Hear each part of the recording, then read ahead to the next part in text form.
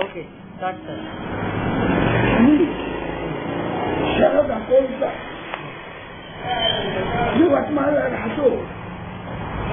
आणि गेल्या तीस वर्षापासून सुरू असलेल्या जैविक लोकदूत या वृत्तपत्राचा मुख्य संपादक म्हणून काम करतो. यवतमाळ जिल्हा हा कृषी प्रधान जिल्हा असून संपूर्ण महाराष्ट्रात सर्वाधिक कापूस पिकविणारा हा जिल्हा आहे.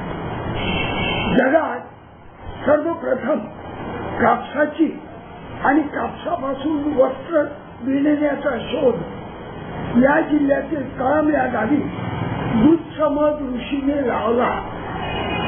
कळम हे गाव अत्यंत प्राचीन असून ते यवतमाळपासून अवघ्या तेवीस किलोमीटर अंतरावर आहे श्री क्षेत्र माहूर रेणुका मातेच्या स्थानाला यवतमाळहूनच जावे लागते.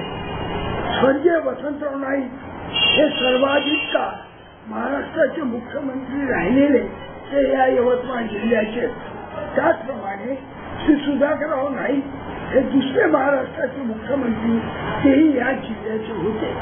यवतमाळ जिल्हा आदिवासींचा जिल्हा प्रामुख्याने ओळखला जातो राजकीय दृष्ट्या हा जिल्हा अत्यंत जागरूक आहे. बरं दुसरा एक प्रश्न आहे सर. विकासाच्या बाबतीत यवतमाळ जिल्ह्याला कुठली कुठली आव्हाने आव्हाने पुढे भविष्यात येण्याची शक्यता आहे? कृषी मालाला. योग्य भाव दिला जात नाही. त्यामुळे शेतकऱ्यांची परिस्थिती अत्यंत खराब झालेली असून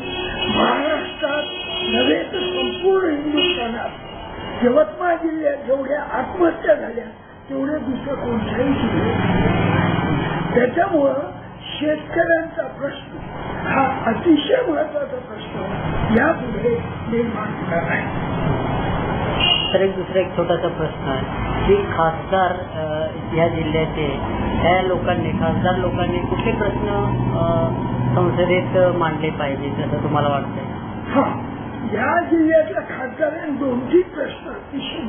महत्वाचे एक तर या जिल्ह्याचं इंडस्ट्रियलायझेशन झालं नाही हं. औद्योगिक दृष्ट्या हा जिल्हा निर्णय झिरो आहे. या तेव्हा केंद्र सरकारकडून औद्योगिक जसं आमच्याकडे कोळसा आहे या आमच्याकडे कॉटन आहे आमच्याकडे सिमेंट आहे सिमेंट आमच्या जिल्ह्याच्या भूमी